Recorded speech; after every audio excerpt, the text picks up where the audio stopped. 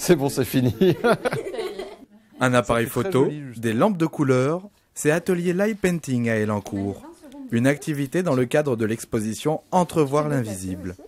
En bleu, en vert ou en rouge, on écrit et on dessine avec la lumière.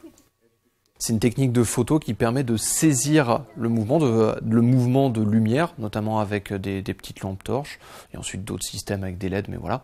Donc de saisir un mouvement lumineux avec un appareil photo, ça permet de créer des formes, des, objets comme euh, imprimés dans l'air, on va dire. Il faut un appareil photo qui, a un temps d'obturation qui est capable donc de, prendre une photo sur une, une période assez longue. Outre l'aspect ludique, le light painting simplifie la science. L'activité met en pratique optique, infiniment petit ou encore trajet de la lumière. Des notions complexes que les visiteurs testent, lumière et appareil photo à l'appui. Le light painting semble convaincre les visiteurs. J'ai essayé d'écrire mon prénom, j'ai fait un cœur avec ma mère et, euh, j'ai fait les roues d'un vélo. C'était trop bien, je pensais pas que ça existait. C'était super, euh, les enfants ont adoré, c'était très ludique. On a pu participer nous aussi euh, à l'atelier de light painting. Et voilà, je crois qu'on repart avec des bonnes idées pour faire des ateliers avec les enfants.